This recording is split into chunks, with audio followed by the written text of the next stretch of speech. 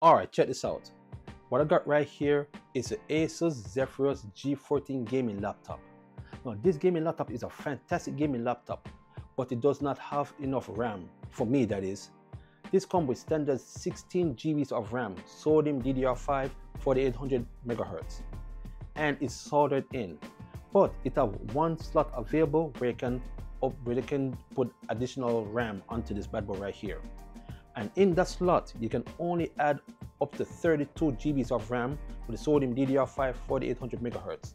So with a combination you can have a total of 48 GBs of RAM. This one in particular comes with a Ryzen 9 with the NVIDIA GeForce 4060. So I'm gonna add this RAM right here onto it. This one is a Samsung 32 gigabyte of RAM. This one is a dual rank RAM or you can tell with a dual rank, well, Samsung make it very simple. If you look closely, where it says 32 GBs, beside it you see 2R8. So with 2, with the R, the R means rank and the 2 means dual. So this is how you know this is a dual rank RAM. And it should be pretty good. And to replace it on this laptop is very simple. I already take the screws off and it comes with 11 screws. 4 on the bottom, 4 on the top, and 3 in the middle. That is very easy. All you gotta do is go into the corner, pop it open, and just like that.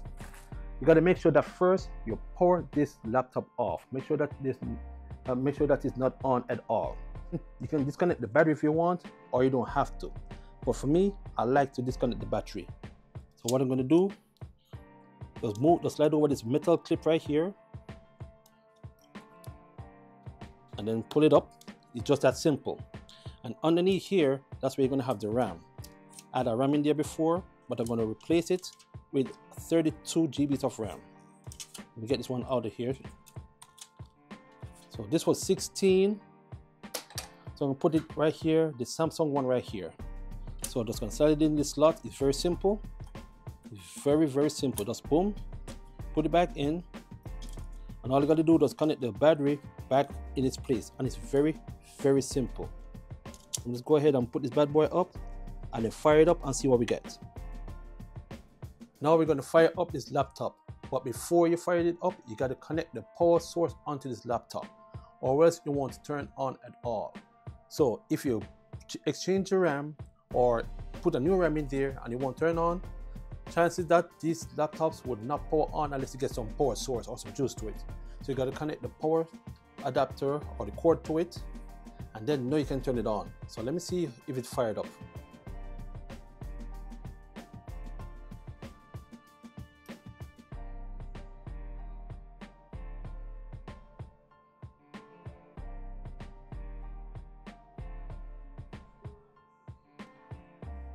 Alright, this laptop take a few moments to turn on. It probably takes like a couple seconds. Well, I'll say probably about 20, 30 seconds. So if it take that long, don't be alarmed. It, it's not broken. You just got to be patient for a little bit. Now let's go right here to see that everything's working perfectly fine. Or we got the right amount of RAM. And you can tell already it's very snappy. You're going to check it out. Oh, damn, this fast. Let's go to Task Manager. I'm going to go right here into the into performance. So if you go right here to memory, you see right here in the corner, it says 48, 48 GBs. And it tells you right here the speed, slot use 2 of 2, SODIMM, speed 4800. And this thing looks pretty decent already. Uh, I did not fire up any game, but so far it works and that's how simple it is. And I can tell right off the jump, this thing is screaming fast already. This laptop is has got a breath of fresh air since I put this additional 32 GBs of RAM in there. So that's how you install a RAM inside the Asus Zephyrus G14 gaming laptop. Thanks for watching.